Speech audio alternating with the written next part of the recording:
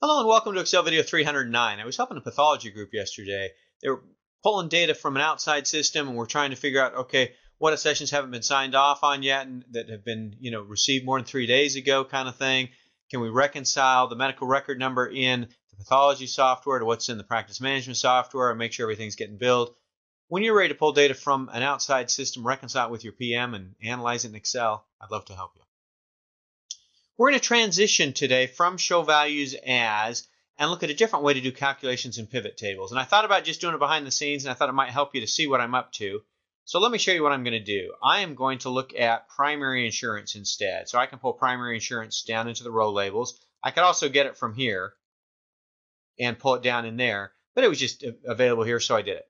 I'm going to get rid of sum of billed, and I'm going to change this back by getting rid of the 2. I can change the name there and then I need to go to value field settings. Notice how the numbers aren't all formatted correctly because we did a quick and dirty format instead of doing it right. We have to do it right with number format, currency, and get rid of the pennies, and that will help us. Now that that's working, what I want to show you today is you're not limited to just one field in the values area. I can pull write off, and I can pull allowed down in there as well. And when I do, again, see my my data is not quite right because you remember a couple videos ago I just selected everything and tried to do a format from here. That's not a long-term solution. What you really want to do is do it right. Go to value field settings, number format, currency, get rid of the pennies. I'm not worried about negative numbers. We're going to do the same thing for allowed, and then we're where we need to be.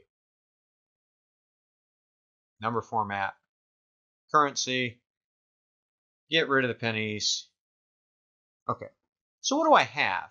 I have, for my main pair groups here, what I billed, what I've contractually had to write off, and what's been allowed over whatever time period I'm looking at.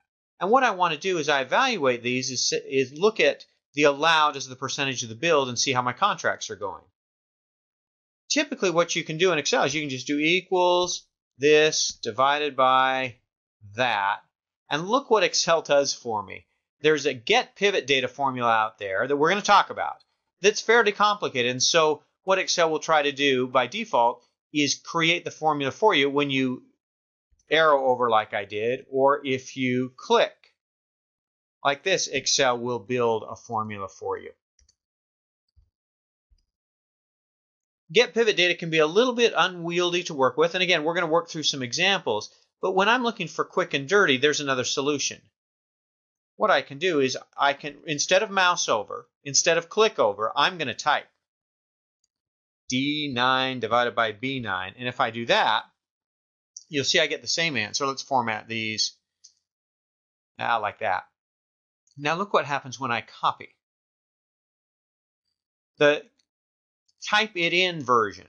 I didn't point, I didn't click, I didn't arrow, I just typed in the formula. That will copy down. See, this is D9 divided by B9. Here's D12 divided by B12, D14 divided by B14.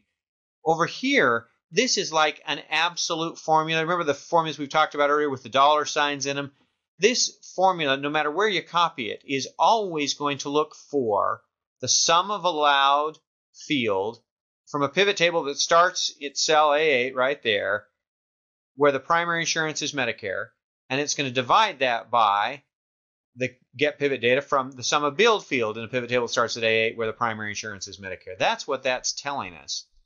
And the challenge with this formula is it's hard to copy around. There are some real advantages to get pivot data. We're going to do that. But if you need quick and dirty, what I want to show you today, if you need a formula out of a pivot table, type the formula in and you can get around the limitations of get pivot data.